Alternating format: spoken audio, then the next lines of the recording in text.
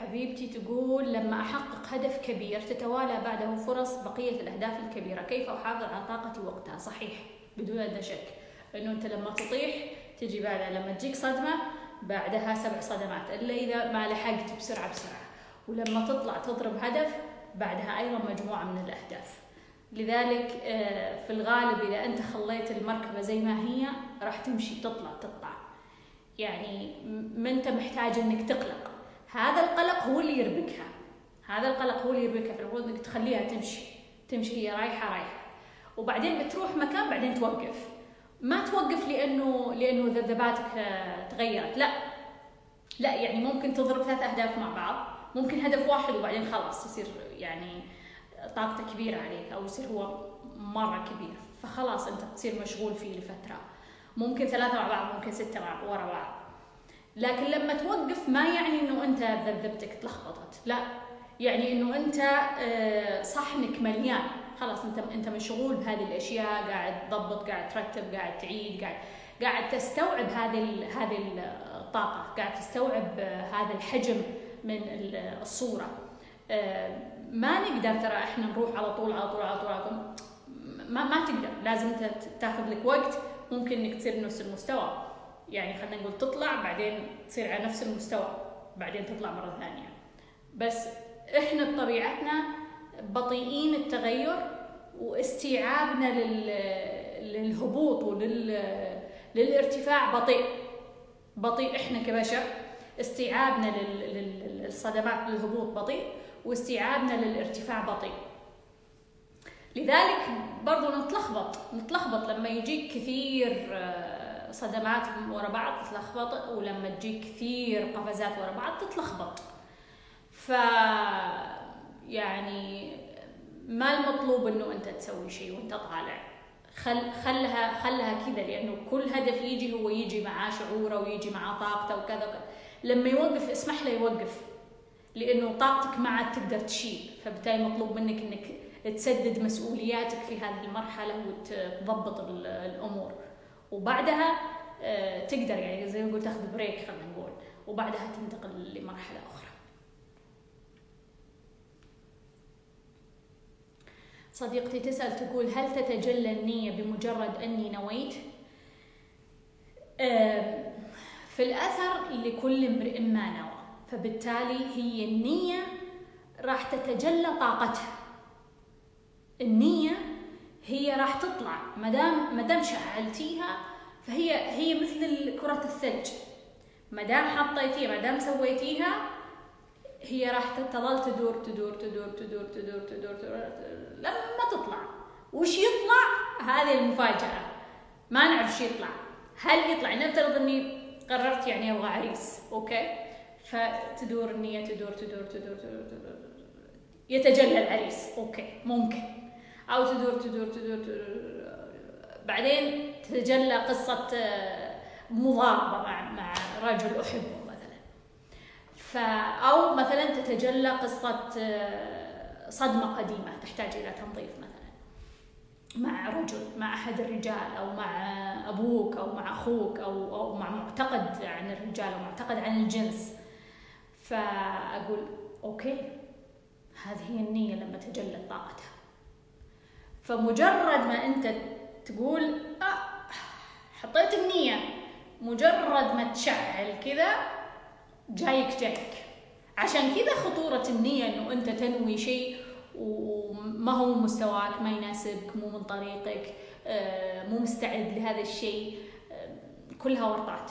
لأن طاقتها كلها راح تتجلى. كلها. إذا ما تجلت هي طاقتها راح تتجلى. فبالتالي أنت يا يا تكسب يا تخسر. ما في آه، ما في شيء تقول ماني خسران خلني أحط. لا ما في.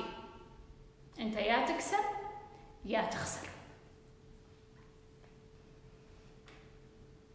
طيب صديقتي تقول بعد حوسة ودروس وكفوف في عشرين واحد وعشرين نويت أغلق كل شيء وأرتاح فترة في الحياة ثم أبدأ من جديد بهدوء وتدرج. هل مرحلة الحياة في وضع شيء كويس كاستراحة؟ أه ما في مانع. مقبول وارد جدا لأنه حتى يعني طاقتك تحتاج إلى هذه الاستراحة لكن لا تطولين لا تطولين. شيء تسأل تقول إذا كانت ما في النوايا هي الأهل المقربون. كيف أحقق النوايا إذا كنت محاطة بنوايا معاكسة؟ هو لما أنا شرحت ما في النوايا أنا ما قلت إنه أنت عندك نية. ما قلت. ما في النوايا هم اللي يزرعونها لدرجة إنها كأنها مخفية كأنها أنت. مثلها أقرب ما يكون العلاقة المظلمة إنه الشخص يبدأ يعتقد إنه هذا صح.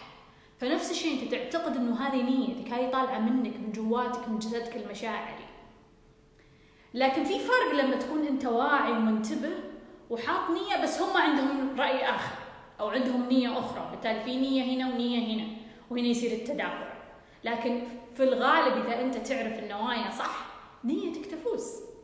نيتك تفوز. على فكرة يعني الأشخاص اللي فاهمين موضوع النوايا هم الأقوى على الإطلاق. هم يعني هم هم الجبابرة في الحياة. اللي فاهمين موضوع النوايا هم يعني هم اللي يفوزون طوال الوقت. اللي يعرفون كيف يشعلون نية ويخلونها قوية ويخلونها مركزة. يفوزون طوال الوقت. طوال الوقت. ما حد يقواهم. حتى اللي يبدو أكبر منهم ما حد يقواهم. ما حد. ما حد. حتى يعني تحسه ما عنده أدوات وما عنده نيته تكفي. نيته تكفي. ما دام هو ضابط الموضوع خلاص. أنا عندي ضمان لكل امرئ ما نوى شعلها صح وركز. خلاص ما حد يقدر. كائنا من كان. مين المعاكس هذا؟ كائنا من كان ما يقدر. ما يقدر. ما دام في نية قوية هي اللي تنتصر. لكن ما في النوايا هو ما في نية أصلا قاعدة تعكس هم يعني الخديعة عميقة لدرجة إنك أنت تعتقد إن هذه نيتك. تعتقد إنه اوه واو هذه نيتك. هذه نيتك أصلا. فبالتالي ما تحطها على الطاولة ما تناقشها ما تفكر فيها ما تقفلها ما تحذفها. بعض الأشخاص اللي هي برضو حالة من الحالات تكلمت عنها في كارما النوايا إنه أنت عندك نية والشخص الثاني عنده نية. فبالتالي هو راح يحط طاقة لنيته وراح يقول راح يتكلم راح يبذل جهده وكذا وكذا وكذا. انت عاد دورك انك انت تعطي حجم لهذه الطاقة حجم لهذا الكلام تفتح توقعات تفتح احتمالات تفتح وعي لهذه القصص تحط صور تحط أفكار تحط معتقدات بالتالي انت شعلت لهم نية. تكون انت شعلت الثنتين انت شعلت نيتك وشعلت النية المعاكسة. لأنهم قالوا. لأنهم قالوا. بس لما قالوا سويت X ما اهتميت. ما زالت نيتك أقوى. لما قالوا ما سويت أي صورة نيتك أقوى. لما قالوا ما رجعت تسمع كلامهم تسمع قصصهم تسمع الإعادة اللي يقولونها ويكررون نيتك أقوى. فبالتالي يعني أنت تملك كامل القوة إنه نيتك تكون الأقوى أمام الآخرين، أنت تملك هذا الشيء، تملك. لكن آه، في الغالب إحنا اللي نسقط نوايانا، لأن نحط طاقتنا ونحط إذننا ونحط عيوننا ونحط اهتمامنا وانتباهنا لبرا. ريماس حبيبة قلبي تقول عمري عشرين سنة وتجلت لي أول مليون. الله أكبر. مبروك. مبروك يا ريماس. عمرها عشرين وتجلت أول مليون. برافو. عن طريق شخص معجب فيني بالعمل. كيف أعرف نية الشخص إذا كانت خبيثة أم لا؟ مم. Okay. شخص معجب فيك مرر لك المليون أو أعطاك المليون. Okay؟ طيب سؤالك هل هو خبيث أم لا؟ السؤال شو قصدك بكلمة خبيث؟ بعطيك إياها بلاش؟ طبعا لا. طبعا لا. ما في مليون تمر من رجال بلاش. ما نبغى نوصل لهالمستوى من من يعني التفكير. ما مليون؟ ليش تروح مليون؟ يا ماما ما في ألف تمر من رجال بلاش. ما في ألف تمر بلاش. ما أبغى أروح مليون. فما بالك مليون؟ مليون ما مرت بلاش. فما أعرف إيش تقصدين بكلمة خبيثة. ما أعرف بس بس ما ما ما, ما في شيء بلاش. ما في المليون هذه لها مقابل. وأنت اللي راح تدفعين المقابل أنت اللي راح تدفعين هذا المقابل. بس هذا المقابل هل هو يعني يناسبك؟ ولا لن يناسبك.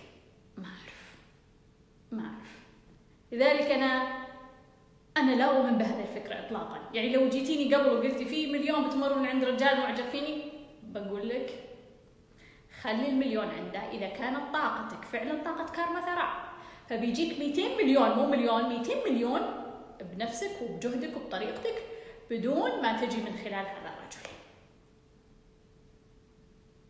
لكن أنت بتدفعين. دافعة دافعة. ما في شيء بلاش